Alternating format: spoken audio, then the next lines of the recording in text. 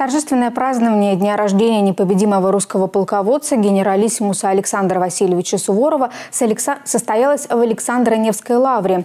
Здесь, в церкви Благовещения Пресвятой Богородицы, у могилы великого воина была совершена панихида, которую возглавил секретарь Святейшего Патриарха Московского и всея Руси Кирилла протеерей Дионисий Казанцев. В этот же день панихиды прошли и в других местах, включая главный храм Вооруженных сил России, Калининград, Камчатку, Крым и Донбасс.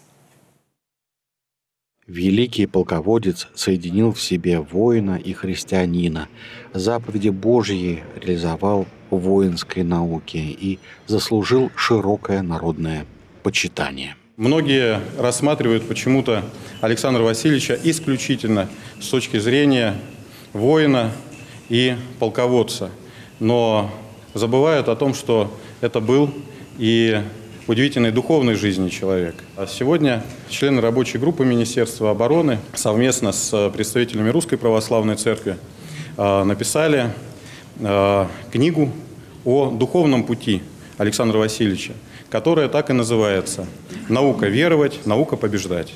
Молитвенное поминовение непобедимого полководца – не проигравшего за свою жизнь ни одного сражения, совершили священники военного благочиния, воспитанники военных академий, университетов, военных училищ, военнослужащие Западного военного округа.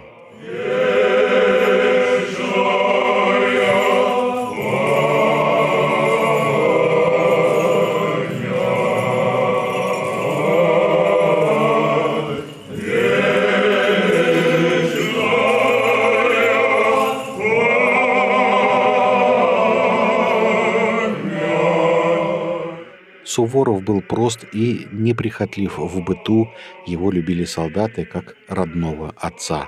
В настоящее время по народной инициативе собираются материалы канонизации Александра Суворова. К процессу сбора документов присоединилось Министерство обороны Российской Федерации, при котором была создана рабочая группа по увековечению памяти Суворова. Существуют письменные свидетельства ветеранов афганских и чеченских войн, а также участников спецоперации в Сирии о помощи, полученной по молитвенному обращению к воину Александру.